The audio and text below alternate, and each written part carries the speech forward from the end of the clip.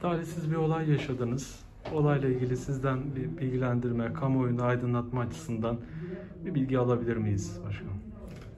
İşte 28 Aralık e, akşamı saat 22 25 22 20 civarında e, Ballıca köyünden, mahallemizden benim orası köyüm zaten. Aksaray'a geliyordum. E, evden ayrıldım. Zeytinyağlarımız vardı. Onları yerleştirmiştik. E, evden ayrıldım. E, evimizin az aşağısında bir benzinlik var. Oradan arabamı yakıt falan almıştım. O benzinliğe yaklaşık 1-1,5 kilometre ileride bizim e, Hamidiye Kavşağı, Telli Kavaklar olarak e, ismi olan bölgede e, bir el silah atışı duydum. O bir el silah atışını duyduktan sonra ben etrafta birileri e, ateş ediyor gibi düşündüm. Çünkü kendime saldırı olacağını düşünmüyordum. E, etrafa bakındım. Yaklaşık 70-80'le gidiyordum. Ardından e, iki el daha silah sesi duydum. Bu iki el silah sesini duyunca e, bunlardan bir tanesi arabama isabet etti. Çok sert bir şekilde bir ses aldı içeriye. Bu sesi duyunca ben olay yerinden çok hızlı bir şekilde ayrıldım. E, başımı eğdim aşağı. E, o şekilde ayrıldım.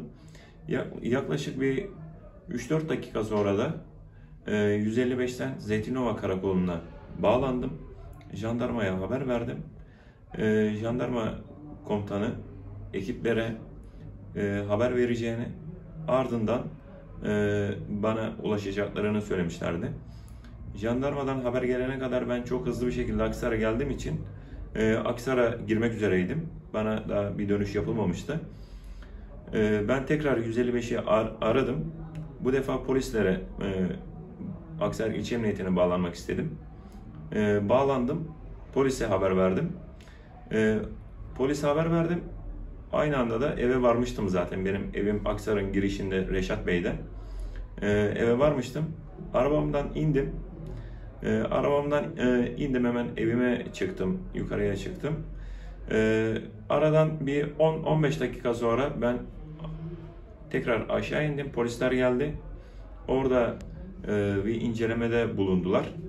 E, tekrar biz jandarma dönüş yaptı.